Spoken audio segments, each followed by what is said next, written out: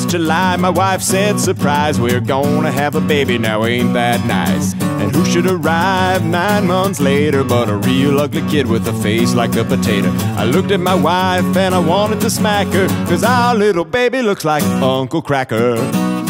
Well, she took that boy for a roll in the hay. Never thought the kid would come out this way with a face that would make a rhinoceros choke.